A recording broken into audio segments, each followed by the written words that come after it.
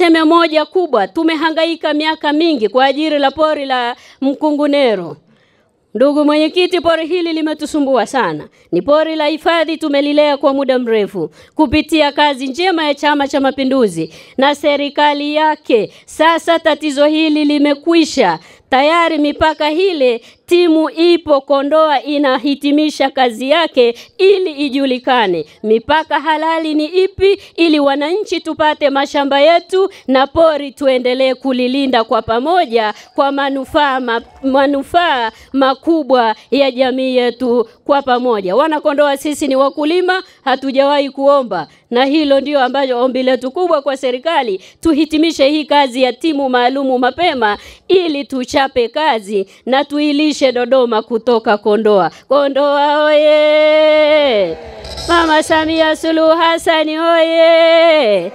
Ndugu yetu makamu mwenyekiti mzee Mangula oye!